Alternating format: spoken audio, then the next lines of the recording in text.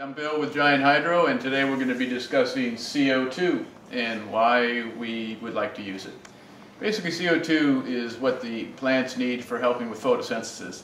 The outside, uh, your natural CO2 is between 3 and 400 parts per million of CO2 and that helps with the photosynthesis with the sunlight and, and so forth. The plant can photosynthesize and create all the energy that the plant needs to live.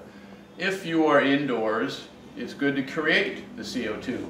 And there's different ways of doing it. Um, this is probably the, the most simple, which is 20 pound CO2 bottle, and then you have the CO2 kit.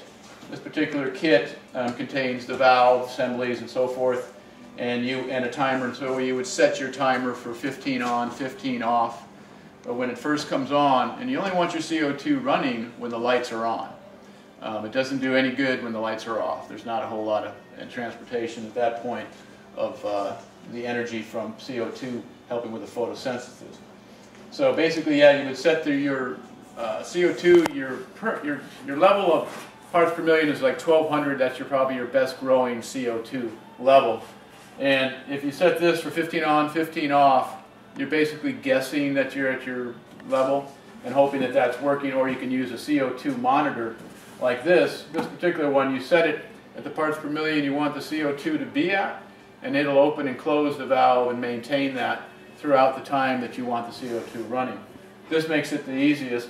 This make, is a little cheaper. This is this, this particular device here can be you know a few hundred dollars for this, but um, in the long run, I think it's worth it. It's worth it to have that kind of control. So again, the, the CO2 is, is kind of important. If you have a room, room does need to be sealed real well, and you cannot have exhaust happening when you're CO2ing the room. You can have air moving in the room, which help, actually helps the CO2 get onto the leaves and so forth, and the light and everything else will help the plants uh, possibly up to 30% uh, yield better than if you had not used CO2.